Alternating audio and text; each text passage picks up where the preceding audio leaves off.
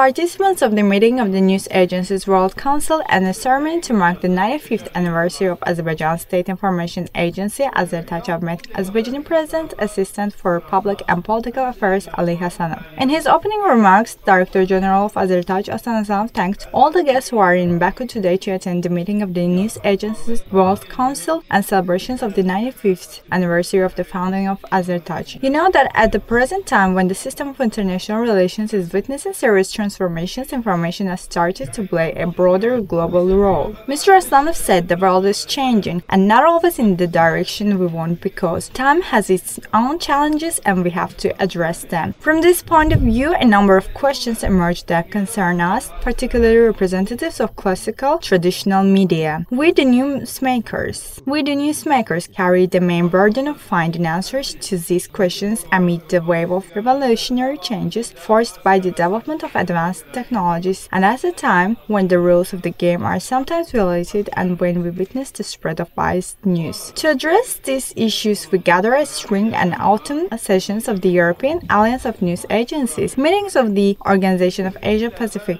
News Agencies, and ATBACO International Humanitarian Forum, which annually brings together acclaimed politicians, scholars, and media leaders from almost all continents. Mr. Hassanov welcomed the participants of the News Agencies World Council, meeting and heads of foreign news agencies who attend celebration of the 95th anniversary of AZERTAC in the capital of Azerbaijan, which has an ancient history, rich culture, and democratic traditions. As you know, the decision to hold the 5th News Agencies World Congress in Baku in 2016 was made at the 4th Congress in Riyadh, the capital of the Kingdom of Saudi Arabia, in November 2013. Based on this decision, AZERTAC will hold the presidency of the Congress from 2016 to 2019. I thank the leadership of the Council and its member agencies for their confidence in Azerbaijan. He said, along with the 5th News Agencies World Congress, Baku will host the 16th General Assembly of the of the Organization of Asia Pacific News Agencies (OANA) in 2016. OANA is one of the most influential international media organizations, and its founding was initiated by UNESCO. The decision to hold the OANA General Assembly in Azerbaijan was made in Moscow in September 2013. We consider these decisions to be yet another evidence of the growing international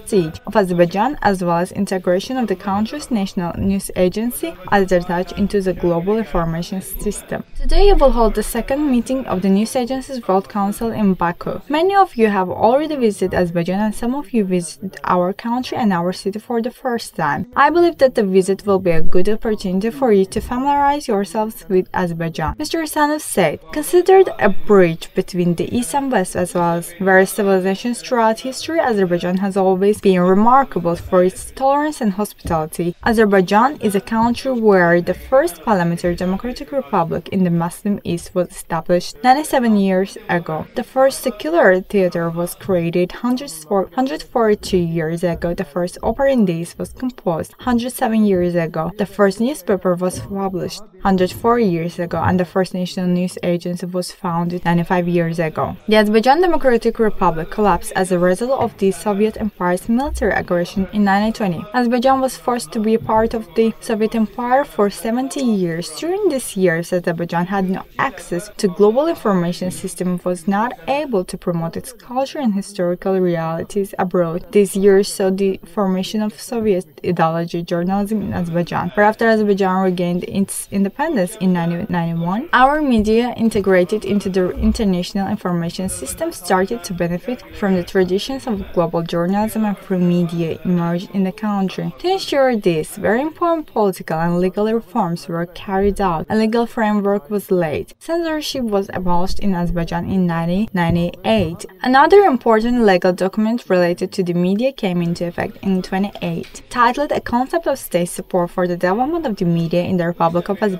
This document was approved by Mr. President. It reflects the fundamental principles of the development of the freedom of thought, speech, and press. He said, by enumerating these measures, I want you to have a clear picture of the continuous work to build a free, democratic, secular information environment in Azerbaijan. The Azerbaijan government cannot imagine its internal life without free press. The media in Azerbaijan are completely free. They can raise and write about any issue. The country has a free access to the internet. Even the most remote regions of the country have access to both mobile and other types of internet connection. This paves the way for the expansion of social media in our country, said Mr. Hassanov. The mass media face very important tasks amid the ongoing globalization. In some cases, the media face problems, I would say even serious fatal problems. There is a tough competition. Of course, competition among media organizations is natural. Unfortunately, in some cases, we see the contrary. Other speakers included President of the News Agencies World Congress, President of the Saudi Press Agency Abdullah bin Fahd Al Hussein, President of the European Alliance of News Agencies, Chief Executive of Press Association Clive Marshall, and President of the Organization of Asia Pacific News Agencies, Director General of Russian TASS News Agency Sergei Mikhailov.